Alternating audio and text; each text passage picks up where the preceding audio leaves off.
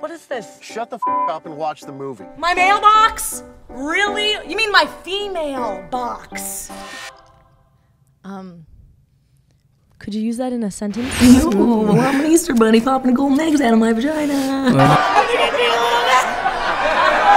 But I wanted to know if you wanted to do that thing. Come on, come on, let's get some. Jump bread, jump bread, jump bread, jump bread, jump bread.